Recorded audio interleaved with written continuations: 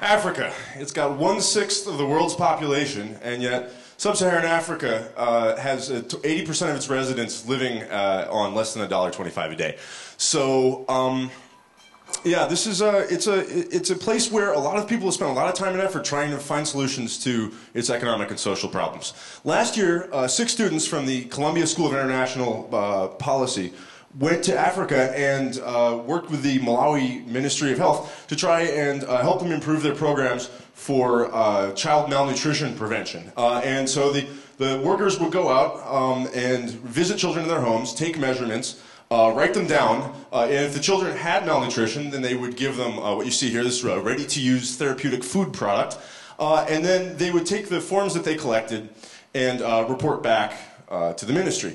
So uh, Sean and, uh, and his classmates, uh, these classmates from, uh, from, from Columbia, went uh, to the ministry and said, show us the, the data that you've collected from this project. And they came back with a pile of boxes filled with paper. And uh, the data was locked up on, the, on paper in these boxes. And this was really an epic fail. There's no way you can act on information that's collected this way. So uh, malnutrition prevention, yeah. So this is a map of the internet, and uh, you'll notice that Africa is not very well represented on it. And so this pile of boxes is begging for a technical solution, and the internet is not the right place to find that solution because less than 1% of people in Africa have access to the internet. One thing that Af uh, uh one bit of information technology that Africans do have, however, is a cell phone. Uh, in fact, one in two approximately this year will have a cell phone. And uh, you know, they're, they're $10 handsets, you can't do GPRS, you can't do J2ME, but you can build applications using SMS. Um, so, so applications, internet applications, uh, followed this sort of paradigm where first we had CGI scripting where you did everything from scratch. Around about 2000, people said, let's build one thing that does everything. And, uh, and then they later discovered that this was not flexible enough and moved to building uh, frameworks like Ruby on Rails. So uh, at UNICEF, uh, in the UNICEF Innovations Unit, we built a system called Rapid SMS um, that uh, was uh, offered sort of Twitter-like messaging from one user to another, data collection, uh, flexible form generation. You can see the whole thing is really quite beautiful. And then this past year, the UNICEF and SIPA went out and tried this Rapid SMS application to augment these projects uh, these development projects in Ethiopia and Malawi, and we learned four lessons. And the first one was that it worked. The second one was that uh, you cannot build these applications in a vacuum. Uh, the, the users get things wrong, uh, they try things that you never expect, and you have to send your developers out there to work with the users. Uh, otherwise, you won't be able to build an application that they'll actually use. The, the second big lesson that we learned is that you must prepare for failure. Uh, you must uh, write programs that accept flexible inputs, that allow people to, uh, that give people feedback, that allow people to resubmit uh, their reports.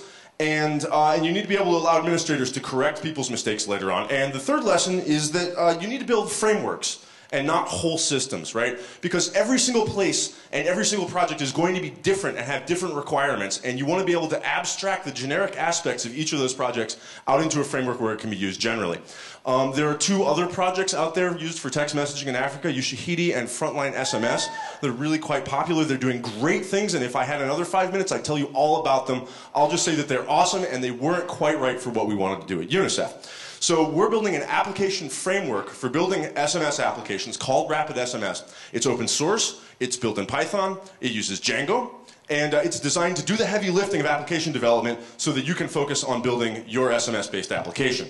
Uh, so this here is an example uh, of a uh, input-output type thing that we did uh, for a uh, Millennium Villages project pilot in Kenya, where at the top you can see the healthcare worker texts in some data about a child, and they get back uh, confirmation of the child's identity using a little code number, and, and some instructions on what to do about it. And this provides immediate feedback. The, the, the healthcare workers get follow-up alerts so that they go and visit children, follow up with them, and things don't fall through the cracks. Um, and this also provides, at a higher level, provides decision makers with you know, potential early warning of famine, and we do away with the great big boxes of paper.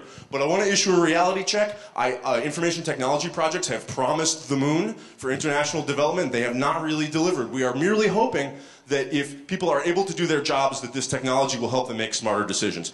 We have a huge consortium of organizations uh, and companies, independent developers that are working on these open source projects uh, to try to improve them. We're looking to work also with local developers in Africa. Um, if you're interested in this at all, please go to the website, join the mailing list, check out the code, check out the documentation. Please feel free to contact me personally. I want to thank Sean Blaschke from SIPA for his, uh, his help and support in writing this talk, and I want to thank you all very much for your time. Really appreciate it.